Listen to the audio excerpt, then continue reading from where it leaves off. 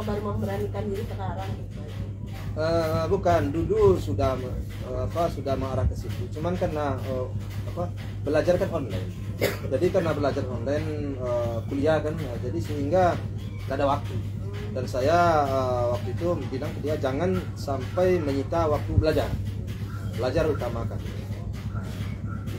Sehingga belum bisa lah dia mengikuti dunia entertainment itu 100% begitu eh, kemarin terjadi eh, kejadian seperti kemarin eh, dan kemudian kuliahnya diliburkan ya tentu dia punya waktu sekarang. Tapi kan sekarang kan dilihatnya kondisinya eh, maaf ya Pak Haji ada kalau dibilang ada Haji mumpung gitu dengan keadaan seperti ini bisa naik. Khawatir nggak sih nanti Puji dibilang Haji mumpung kayak gitu kayak gitu-gitu nanti sama netizen? Eh, sebenarnya hal itu eh, eh, tidaklah pantas kita beranggapan seperti itu. Karena semuanya ini itu kan sudah ditakdirkan oleh Tuhan. Siapa sih yang ingin seperti Mas skenario ini? Kan nggak ada. Semuanya itu adalah atas eh, arahan daripada yang maha kuasa. Jadi eh, kalau seandainya tidak ada sesuatu yang melekat di anak saya tentu eh, tidak akan mungkin sampai seperti sekarang. Begitu juga di kami sendiri kan Eh, tentu ada sesuatu yang menurut saya sih eh, yang kalau or- orang bilang ada sesuatu yang eh, pantas eh, dikembangkan. Pantas dikembangkan dan mendapat tanggapan positif di masyarakat. Terus semuanya itu kan juga merupakan apa ya suatu apa ya suatu sikap yang baik satu satu kelebihan juga ya. Saya kita diterima di masyarakat. Itu kan sangat sangat sulit kita untuk diterima di masyarakat. Itu kadang-kadang positif anggapan masyarakat itu kan baik sekali ya. Baik sekali menurut saya. Jadi kan masyarakat itu pandangannya kan bermacam-macam. Nah ini pandang masyarakat positif sejauh ini. Menurut saya itu suatu nilai yang plus ya bagi saya plus. wajar dong kita mencoba. Mencoba dunia itu masuk dunia itu. Bahkan saya pun sekarang udah eh, gara-gara para wartawan dan netizen dan masyarakat juga ya. Akhirnya saya udah ikut-ikut terseret ke situ. Bagi saya karena nilainya positif tidak ada yang dirugikan eh, bahkan mungkin ada sesuatu yang bisa dijadikan sebagai eh, pelajaran atau motivasi bagi masyarakat.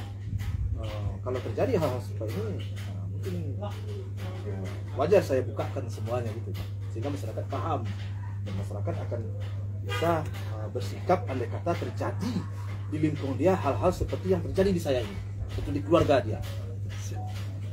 Haji kan selain dia ah, begitu di dunia entertain juga sekarang nih kayaknya dia lagi di bawah kasmaran Pak Haji. Melihat dunia muda-mudi yang sedang kasmaran panas-panasnya mereka berdua kayaknya nih Pak Haji. Pak ngeliatnya gimana sih Puji sama Torik sendiri ya sejauh ini sih uh, melihatnya sih uh, masih dalam batas-batas uh, wajar menurut saya.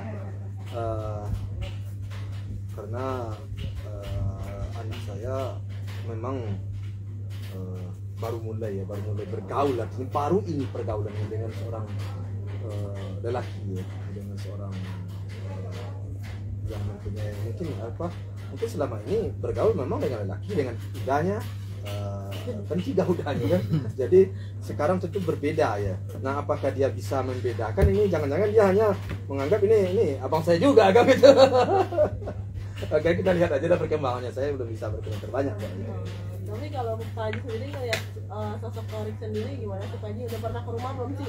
Ke rumah yang dalam waktu yang lama gitu kan? Kalau nggak salah pernah ke rumah tapi cuma sekedar ngejemput doang. Tapi Ngobrol belum gitu sama Pak Haji? ngobrol gitu Oh sama belum belum belum belum belum belum. Kan saya kan orangnya sibuk juga. Jadi dengan kesibukan saya kadang-kadang dia di- dia mengantarkan pergi saya nggak di rumah. Atau saya belum pulang.